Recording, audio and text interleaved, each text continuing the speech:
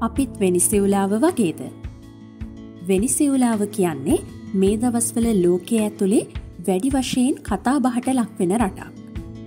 පසුගේ දිනවල ලෝකයේ බංකොලොත් රටවල් අතර අංක එකට සිටින වෙනිසිවුලාවට පස්සෙ හිටිය ශ්‍රී ලංකාව නිසා අපේ රටත් වෙනිසිවුලාව වගේ වෙයිද කියලා අපි ටිකක් බයෙන් තමයි හිටියේ. නමුත් මැයිමාසේ අවසානය වෙනකොට ශ්‍රී ලංකාව හයිවැනි ස්ථානයේ සිටීම සතුටට කාරණයක්. මේ ගැන හැමෝම අවධානය යොමු කරන නිසා අපි හිතුවද වීඩියෝව තුළින් ඇත්තටම වෙනිසිවුලාව මොනවගේද ඇයි වෙනිසිවුලාවට මෙහෙම තත්ත්වයක් උදාවනේ මේ වෙනකොට කොහොමද වෙනිසිවුලාව මොන වගේ තත්ත්වකද තියෙන්නේ කියලා කතා කරන්න ඕනි කියලා. එහෙනම් අද වීඩියෝව අවසානය වන තෙක්ම රැඳීන්න. වෙනිසිවුලාව කියන්නේ දකුණු ඇමරිකා මහද්වීපයේ ඇද්දි ඉතාමත් ජනප්‍රිය රාජ්‍යයක්. අතීතයේ සිටම කෘෂිකාර්මික ආර්ථිකයක් තිබුණු රාජ්‍යයක් වුණු වෙනිසිවුලාව පසුව තෙල් සම්පතෙන් විශාල වශයෙන් ආදායම් උපයන රාජ්‍යයක් බවට පත් වනා. පදිස්සේම වෙනිසිවුලාවට ඇති වූ දැඩි ආර්ථික පරිහානිය නිසා තමයි අද ලෝකය පුරා ඔවුන් ගැන කතා බහක් පැතිරෙන්නේ. අතීතයේදී ඉතාමත් ශශ්‍රීක භූමියක් වශයෙන් පැවති වෙනිසිවුලාව ශක්තිමත් ආර්ථිකයකට හිමිකම් කිව්වා. ඒත් විවිධ අදූරදර්ශී ක්‍රියාපිළිවෙත් නිසා අද ඒ රටට පත්වෙලා තියෙන ඉරණම බලන්න. මිලියන විසි අටක පමණ ජනගහනයක් වෙසන වෙනිසිවුලාව දකුණු ඇමරිකානු මහද්වීපයේ පිහිටි සුන්දර රටක්. බ්‍රසීලයට කොළොම්බියාවට මෙන්ම ගයනාවටද මායිම්වන මේ දේශය දකුණු ඇමරිකාවේ අනෙක් රටවල් මෙන්ම ස්පාන්ය යටත් පිචිතයක්ව පැවති දේශයක්. එදහස් නමසය විසි දෙක වර්ෂයේ පමණ සිට ස්පාන්ය යටත් විජිතයක් බවට පත්ව තිබූ වෙනිසිවුලාව එදදහස් අටසය එකොළහ වර්ෂය පමණ වන විට ඔවුන්ගේ නිදහස ලබා ගත්තා. එදදහස් අටසය තිහ වර්ෂය වන විට වෙනිසිවුලාව පූර්ණ නිදහස් හා ස්වාධීන රාජ්‍යයක් බවට පත් වනා. ලතින් ඇමරිකාවේ අනෙත් රටවල් වගේ නෙමෙයි වෙනිසිවුලාව හොඳින් නාගරීකරණය වුණ රටක්. වෙනිසිවුලා රාජ්‍යයේ අගනගරේ ලෙස සැලකෙන්නේ කැරකස් නගරය. වෙනිසිවුලාවේ ජීවත් වන වැසියන් භාෂා විසි හයක් පමණ කතා කරනවා. නමුත් ඔවුන්ගේ ප්‍රධාන භාෂාව වෙන්නේ ස්පාන්‍ය භාෂාව. වෙනිසිවුලාවෙන් සීයට අනුව එකක පමණ ජනතාව කතෝලික හා ක්‍රිස්තියානි ආගම් තමයි අදහන්නේ. ඊට අමතර වෙනත් ආගම් අදහන සුළු පිරිසකුත් ඉන්නවා. වෙනිසිවුලාවේ ආගම් ගැන කතාවෙනකොට විශේෂත්වය වෙන්නේ සීයට අටක්ම ජනතාව කිසිම ආගමක් අදහන්නේ නැති එක. අතීතයේ ඉඳලම වෙනිසිවුලාවේ හොඳ කෘෂි තාක්ෂණයක් තිබිල තියෙනවා. ඔවුන්ගේ දෛනික ආහාර අවශ්‍යතා සඳහා කෘෂිකර්මාන්තයෙන් හොඳ අස්වැන්නක් ඔවුන් ලබාගෙන තියෙනවා. නමුත් කෘෂිකර්මාන්තය මත පදනම්ව කෘෂිකාර්මික අපනායනයන් මත බැඳී තිබුණු වෙනිසිවුලා ආර්ථිකය එක වරම ශීක්‍රයෙන් දියුණු වෙන්න පටන්ගත්තේ කනිජතෙල් සොයා ගැනීමෙන් පස්සේ. වෙනිසිවුලාව තම කනිජතෙල් සම්පත ගැන දැනගන්නේ පළමු ලෝක යුද්ධ සමයේ. මරකයිබෝ නමින් හඳුන්වන විශාල වෙලක තිබිලා ඔවුන්ට මුල්ම කංජතෙල් නිදිය සොයා ගැනීමට පුළුවන් වුණා. කෘෂි අපනායනයෙන් ආදායම් ලබමින් සිටි වෙනිසිවුලාව වසර එදහස් නමසය පනස්තුන කාලය වන විට මේ කනිජතෙල් සම්පත නිසා තම ආදායම ශීග්‍රයෙන් ඉහළ නංවා ගත්තා. ඒ නිසා ඔවුන්ට ඔපෙක් සංවිධානයේ මුල් පෙළ සාමාජිකයෙක් බවට පත්වෙන්න අවස්ථාව ලැබුණා. ඒ කාලයේදී දකුණු ඇපරිකා මාත්වීපයේ ධනවත්ම රට බවට පත්වෙලා තිබුණ වෙනිසිවුලාව. එවකට වෙනිසිවුලාව පාලනය කරේ ජුවාන් ගෝමේස් කියන ජනාධිපතිවරයා. එතුමා එදහස් නමසය දහ අටවර්ශයේදී බල අරගලයකින් බලයට පත් වෙලා එදහස් නමසය තිස් පහ වසර දක්වාම වෙනිසිවුලාවට නායකත්වය ලබා දුන්නා. ගෝමස්ගේ පාලන සමය වෙනිසිවුලාවට වාසනාවන්ත වනත්. ඔහු හා ඔහු විසින් පත් කළ හෙංචයියන් විශාල වශයෙන් රාජ්‍යධනය අවභාවිතා කරලා තියෙනව කියලා වාර්තා පල වෙලා තියෙනවා. ඒත් තෙල් සම්පත නිසා ලැබුණු විශාල අපනායන ආදායමෙන් මේ දූෂණ හා වංශා ජනතාවකින් වසං කරන්න ඔවුන්ට පුළුවන් වුණා. ඔහුගේ පාලන කාලය තුළ සිදුවුණු අඩුපාඩු නිසා ඔහුගේ අභාවයෙන් පස්සේ නැවතත් රාජ්‍ය තුළ ගැටුම් පිරුණු වටපිටාවක් නිර්මාණය වුණා. මොකද කංචතෙල් අපනායනයෙන් ඔවුන්ට ලැබුණු අධික ආදායම නිසා තම පාලන තන්ත්‍රය හා ආර්ථිකය බිඳවැටීමට නොදී පවත්වා ගන්න ඔවුන්ට හැකි වෙලා තිබුණා. මීට අමතරව වෙනිස්සිවුලාව තුළ රත්තරන් නිදිද පවතිනවා. මේවායින් නිසි ප්‍රයෝජනයක් ලබා ගැනීම සඳහා වෙනිසිවුලාව තුළ අවශ්‍ය තාක්ෂණය තිබුණේ නැහැ. මේ නිසා මේ කටයුතුවලට බොහෝවිට මැදිහත් වනේ ඇමරිකා එක්සත් ජනපදය හා යුරෝපීය රටවල්. ඔවුන් රත්තරන් හා තෙල්නිදිවලින් වැඩි කාර්යක්ෂමතාවයකින් යුතුව පල නෙලාගත හැකි ක්‍රමවේද වෙනිසිවුලාවට හඳුන්වා දුන්නා. නමුත් මේ මැදිහත්වීම නිසා සැබැවින්ම වෙනිසිවුලාවට කංශතෙල් අපනයනයෙන් වැඩි ආදායමක් ඉපයීමට හැකි වුණත් මෙම අත්තපෙවීම් පිටුපස විවිධ ගැටලුද දකින්න ලැබුණා. ඇමරිකානු හා යුරෝපීය සමාගම් මෙලෙස වෙනිසිවුලාවේ තෙල් සම්පත් සඳහා ආධාර උපකාර තාක්ෂණය සැපවයේ සැබැවින්ම යටි අරමුණු ගණනාවක් ඇතුව. වෙනිසිවුලාව තමන්ගේ අතකොළුවක් බවට පත්කරගත් ඇමරිකානු සමාගම් එහි නායකයන් තමන්ගේ රූකට බවට පත්කර ගත්තා.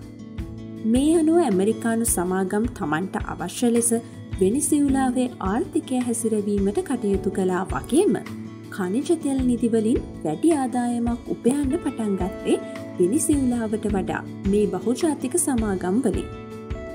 දිගින් දිගටම වෙනිසිවුලාවට ලැබිය යුතු නිසි ප්‍රතිලාප මෙම තෙල් නිදිතුලින් නොලැබෙද්දී එදහස් නමසය අනු නමය වසරෙදී හිව්ගෝ චාවෙස්ගේ නායකත්වය දරු සමාජවාදී පක්ෂය වෙනිසිවුලා රාජ්‍යයේ බලය ලබා ගැනීමට සමත් වනා.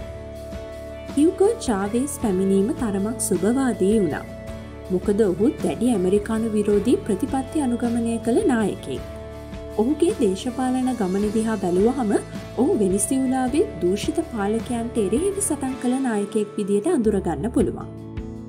එදදහස් නමසය අනු දෙකවර්ෂය ආසන්න වකවානුවේ වෙනිසිවුලාවේ පැවති ප්‍රෙස්නම් ජනාධිපතිවරයාගේ දූෂිත ඇමරිකානු ගැති පාලන සමය අවසන් කිරීම සඳහා ශාවේස් හමුදා කුමන්ත්‍රණයක් දියත් කරන්න කටයුතු කරා. නමුත් එය අසාර්ථක වුණා. ඒ නිසා ශාවේස්ට වසර දෙකක සිරදඩුවම් නියම වුණා.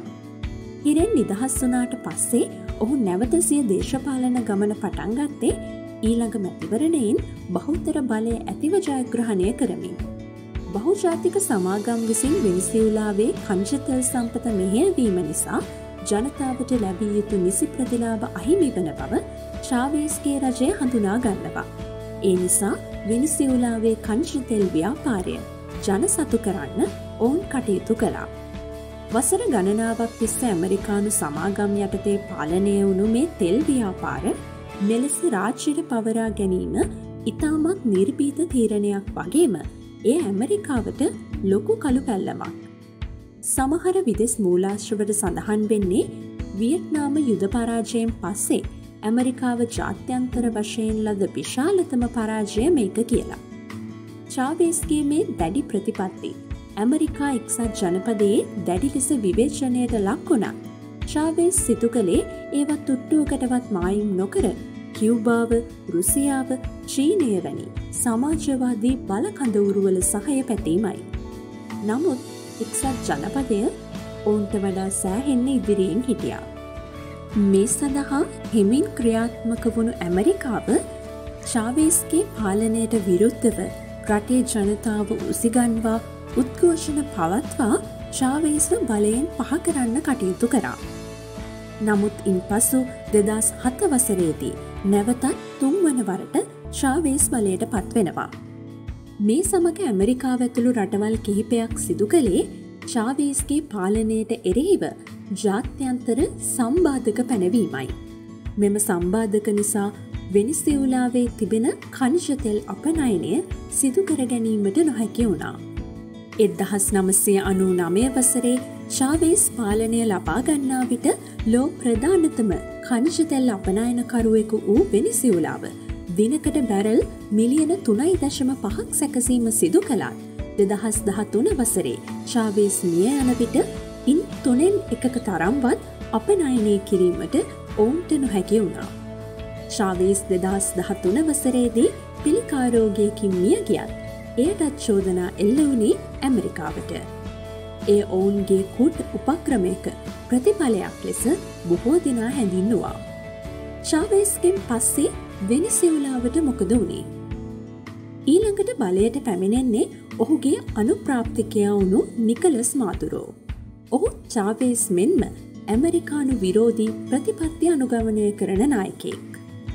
චාවේස් පාලනය අවසන් වන විට කඩා වැටිමින් තිබූ වෙනිසිවුලා ආර්ථිකයට මරු පහරක් එල්ල වනේ දෙදහස් පහළව වසරේ ගෝලිය වශයෙන් නැති වූ කංශිතෙල්මිල සීග්‍රයෙන් පහත වැටීමත් සමගයි.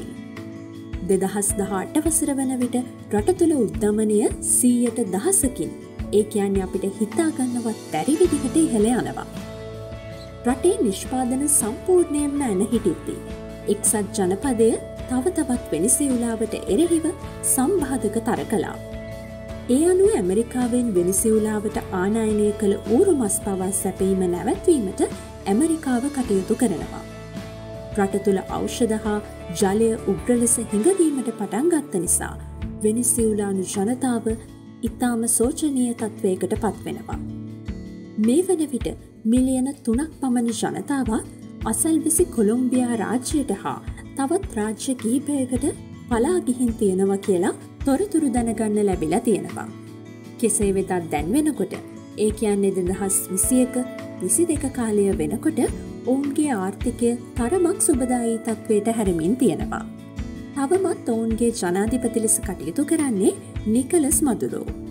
ඔහු මෑතකදී පවසා තිබෙන්නේ ලෝක වෙළඳපොල ඉන්දනමිල ඉහළයා මහා රටේ මුදල් හුවමාරුව තාවකාලිකව ඩොලර් කරණයට ලක්කිරීමත් සමගින් වෙනිසිවලාව මේ දක්වා මුහුණදී සිටි ආර්ථිකාර්බුදයෙන් මිදීමේ කඩීමට පැමිණ ඇති බව. වසර හතරක් පුරා පැවති සීයට හයසීයක් පමණ වූ අධි උද්ධමන තත්ත්වය අවසන් කරමින් රටේ ආර්ථිකාර්බුදය අවසන් කර ස්ථාවරත්වයකට පැමිණීමට හැකියාව ලැබුණු බවත් ඔහු සඳහන් කරලා තියෙනවා. මේ වන විට වෙනිසිවුලාව දිනකට තෙල් බැරල් ලක්ෂ හතරක් ලෝක වෙළඳ පොලට ලබා දෙනවා.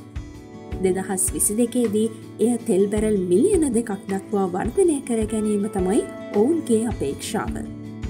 ඉතින් ශ්‍රී ලංකාවත් වෙනිසිවුලාව වකේද කියලා කල්පනා කරපු ඔබට දැන් ඒ ගැන හොඳ අවබෝධයක් ලැබෙන්න ඇති. අපි වෙනිසිවුලාව වගේ ගොඩක් ආර්ථික මට්ටමින් හතතත්වයකට ඇදවැටිල නෑ කියලා ඔබට දැන් වැටහෙනව නේද. අපේ රටේ ගැටලු ඉක්මනින්ම විසඳාගෙන සියල්ල නැවත යථා තත්ත්වයට පත් කරගන්න ලැබෙන්න කියලා අපිත් ප්‍රාර්ථනා කරමු.